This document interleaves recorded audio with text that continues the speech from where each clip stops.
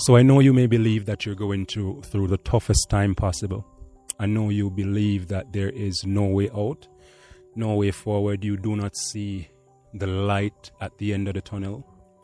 But I want you to know that life is still possible.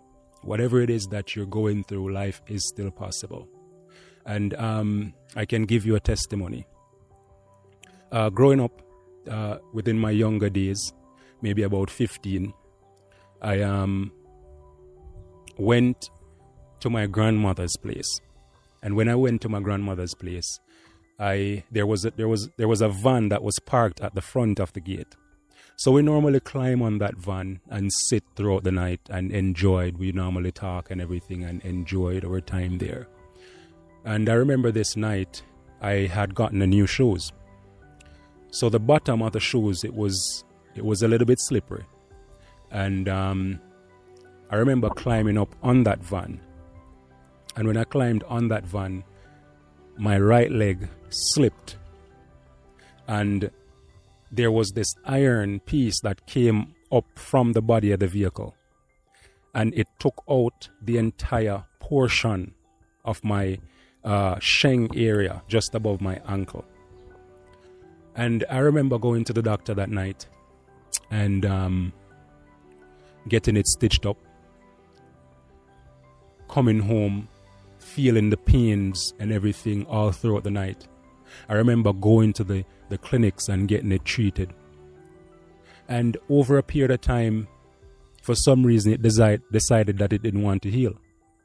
No matter the treatment, no matter the repeated visits, it didn't want to heal. No matter what I did within that time, it didn't want to heal.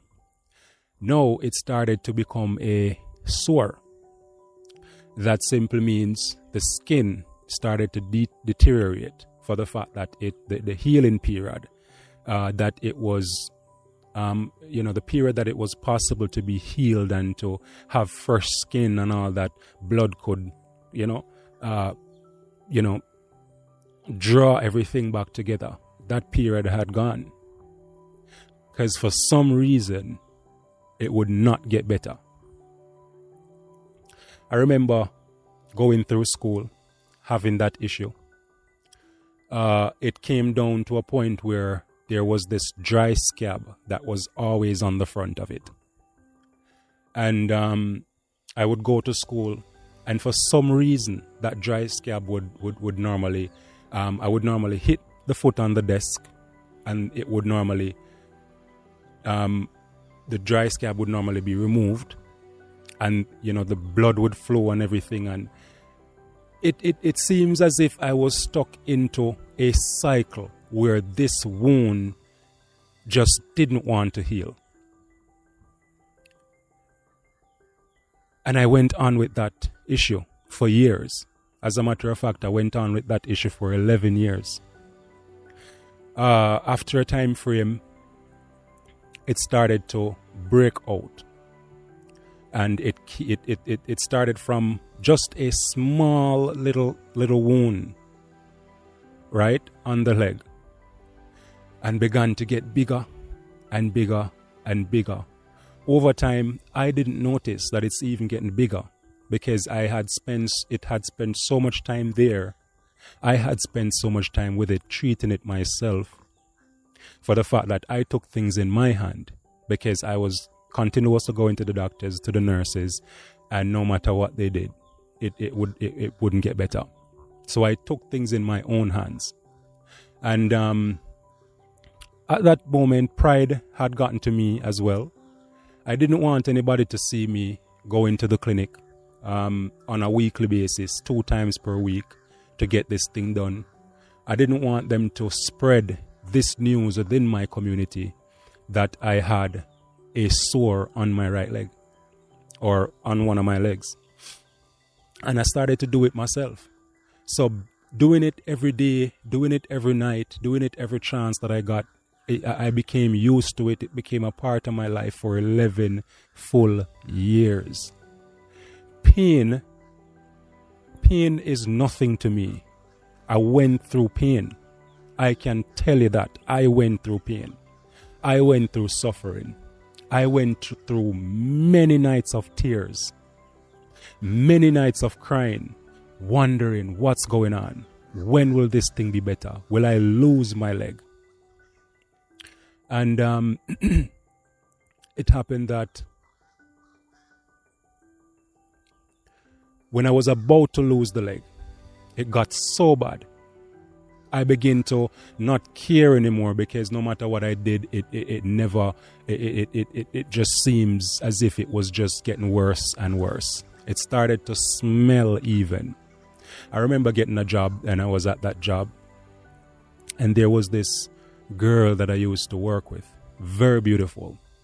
And at the time, she really, she, she liked me and um, really had my interest, you know, at heart. And um, I could, I, I know, knew for a fact that she wanted to, you know, have a relationship with me at the time, but I couldn't for the fact that I had this issue.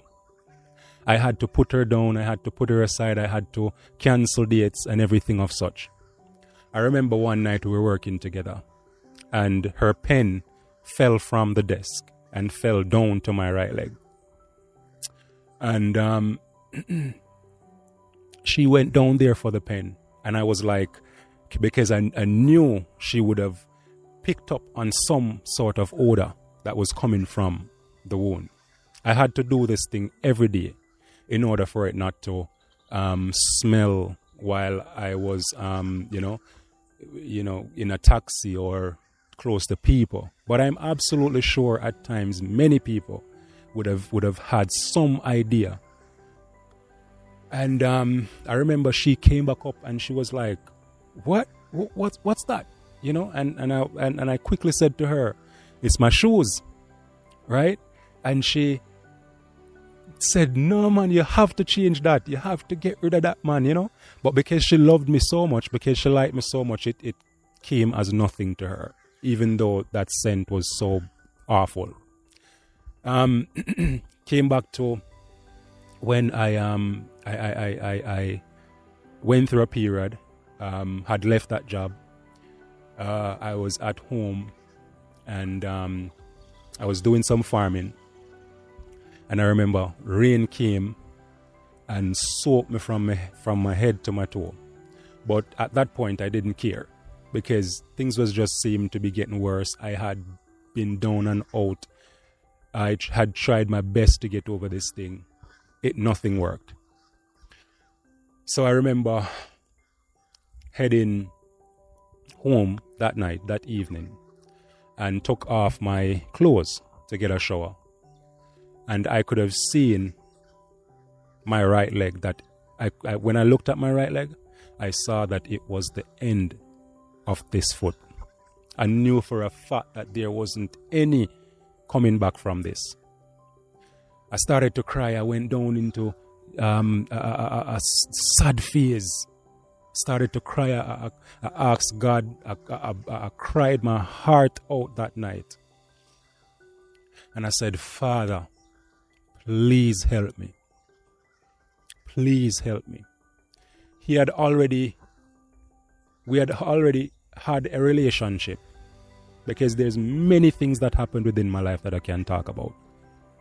So we had already had a relationship. I normally call on my father for everything. And um, within that moment, he was waiting on the perfect moment to prove just how powerful he is. I remember following the unctions that he presented and given to me within that time. And um, he sent me to the same clinic that I didn't want to go. I said, How can I go to this place? I have avoided this place for so long because I don't want people to call my name. He said, There, I want you to go you have to kill pride. And right there and then, pride, every pride that I had, came crushing down because I decided I had to listen to the voice of the Father. And I got over pride totally from that day until today. And pride is a thing that the Most I hate, if you didn't know. And um, I went to the clinic that I didn't want to go And at the time, there was a doctor called Dr. Buckley. He was very young, but he loves his job. He worked at the free clinic in at, at the area in which in, you know where I lived, and um, he looked at my leg and he was like, "No, this is this this this this this does not look good for a young man. This does not look good, and um, I I can't allow you to stay with this thing for any longer because I'm absolutely sure if you stay with this for any longer, it's gonna be worse for you." And it ended up that he said to me, You're going to come back. And when you come back, if it doesn't look any better after the nurse has treated it, I'm going to send you somewhere. And I was there and I was contemplating the whole thing, still struggling with pride, still struggling with following the, the, the, the voice of God, even though I was so contented within the moment to do exactly what the Father had said. But the enemy had his part. So I went back, and um, I remember he said to me, Call me. Ask the nurse to call me the next time you come. And I was contemplating should I call him? Should I call him? I don't want to call him. That's the enemy. Because the enemy knew that I had my breakthrough coming. And it ended up that I got over the thoughts. And I said, Nurse, call Dr. Buckley for me. When he came in, he said, No, no way. I'm not keeping you here another week. You're going to uh, a certain, I'm going to give you a referral and I'm going to send you to a certain place. Took the referral. I went on that journey the following day. When I went there, it was a huge hospital. And when I got there, I went everywhere I possibly could to present the document.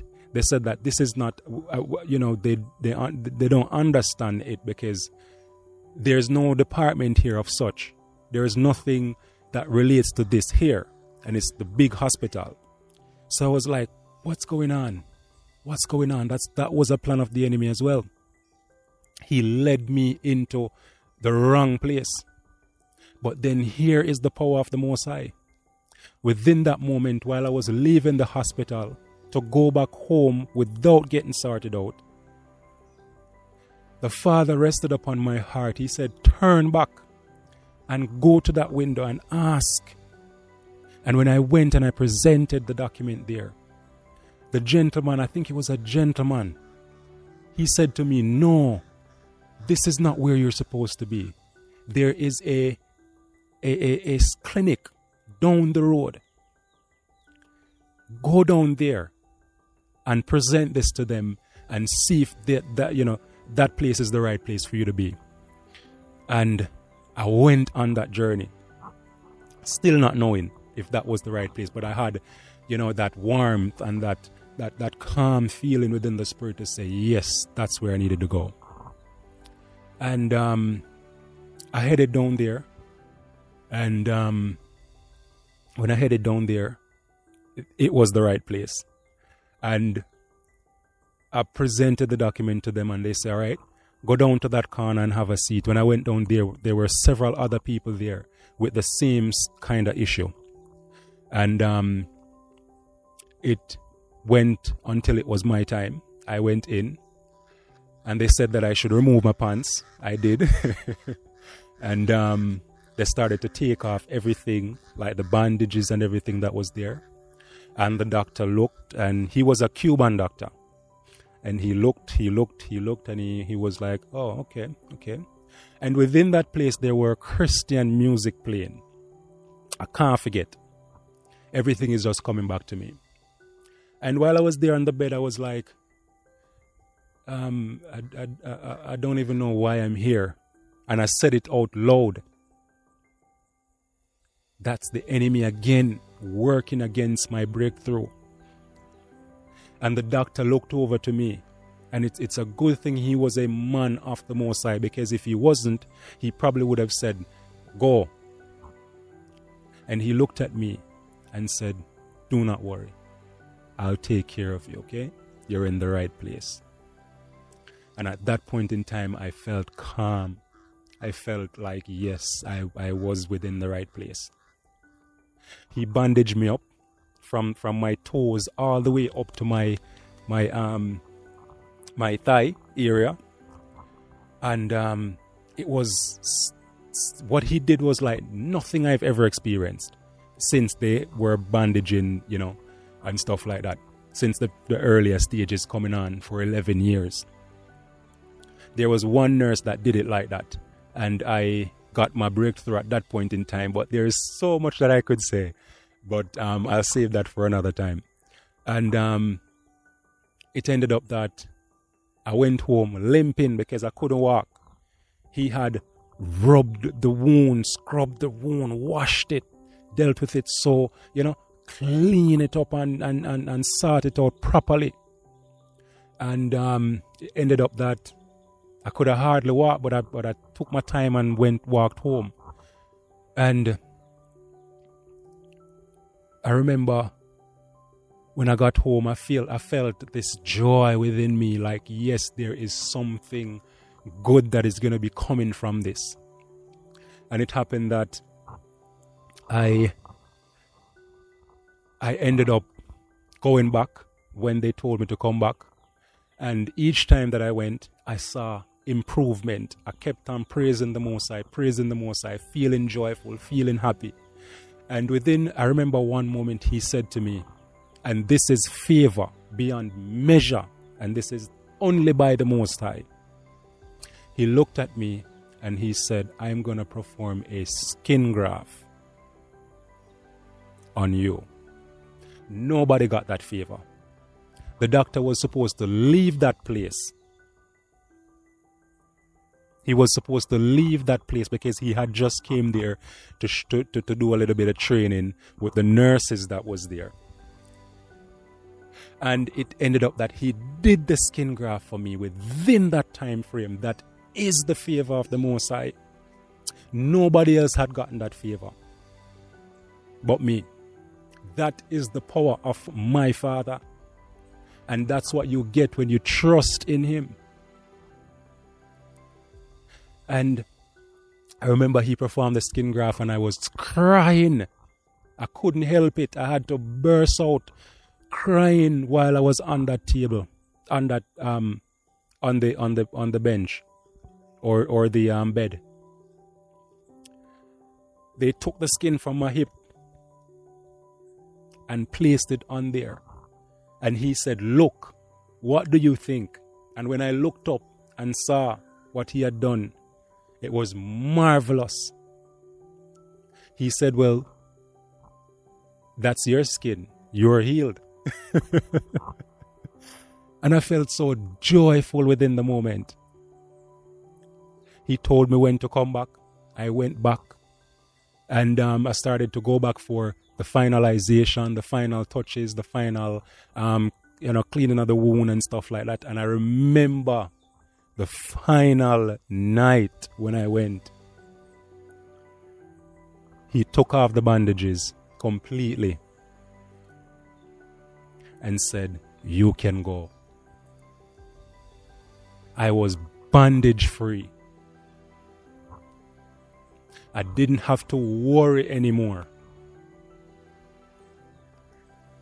I didn't have to worry anymore. Hallelujah. I didn't have to worry anymore. Thanks be to the Most High. I didn't have to worry anymore about bandages. I didn't have to worry anymore about the scent. I didn't have to worry anymore about losing my right leg. Now it's possible for me to travel if needs be. It's possible for me to stay out in the rain because there's nothing that can affect me because of the power of the Most High. There is so much that the Father can do for you and me. His powers is unmatched. There isn't anything within this life that He can't do. Any issue that you're going through, He can see you through, just like this hill behind me. This was dense and void, filled with trees, mosquitoes, and all sorts of different things. And this hill is being excavated now for a bigger project, for a project that will be so beautiful at the end. Where I'm not saying that the trees weren't beautiful, but the change that is happening. So, is it possible to happen within your life as well? Anything that you're going through. If you're struggling with pornography, if you're struggling with alcoholism, if you're struggling with drug addiction, if you're struggling with sexual immorality, all these things can be placed under your feet right at this moment if you give it all to the Father. You have to walk in accordance to how He desires you to walk. And once you do so, He will see you through. I can guarantee you. I can now walk without having any issues. I can go to the beach. I can enjoy myself. I'm able to travel. I'm able to, to, to enjoy life in a different way now because of my father and his leading. Within that moment, you know, that I that I had gotten my breakthrough, you know, it was a little bit tough for me at, at that time. And I remember getting a job within that moment, just when I was about to get my breakthrough. And when I got that job, it was a little bit of, I had to take a taxi from where I lived. And when I went on that journey, you know, it, it started to bring in income for me. But while it was bringing in income for me, I would have to give up where God sent me, where the Most High sent me. He had sent me to the clinic where I was living. I had to give that up and go to a clinic um, where I was working. And that's not where my breakthrough was. I had to leave the job, I had to give it up because this is not where my father desires for me for me to be at that time and i had i, I was running on zero. There wasn't any income i had but i had to trust in the most high within that moment. And that's what i did. And thanks be to the most high. He saved me. He saved me from walking with only one leg. He saved me from being wheelchair bound. If it wasn't for Him, I do not know where I would be today. He has so much waiting for you.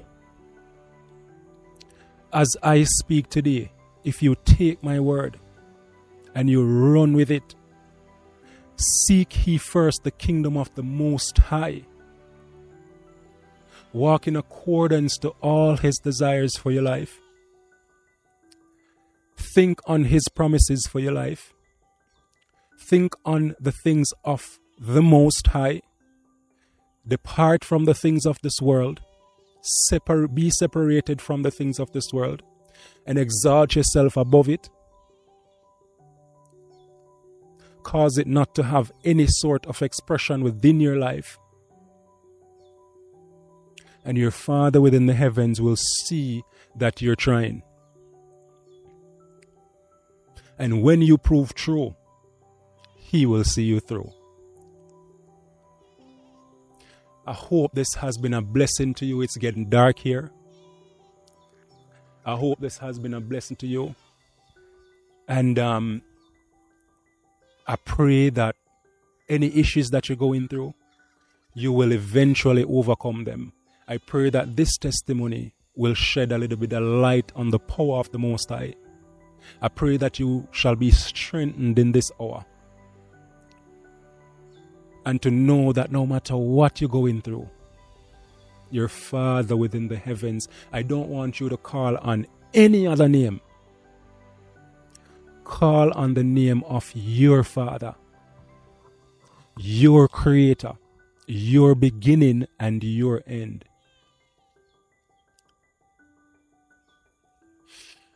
Allow Him to see that you're willing to be separated from the things of this world in order to pursue Him, and He will see you through. Shalom.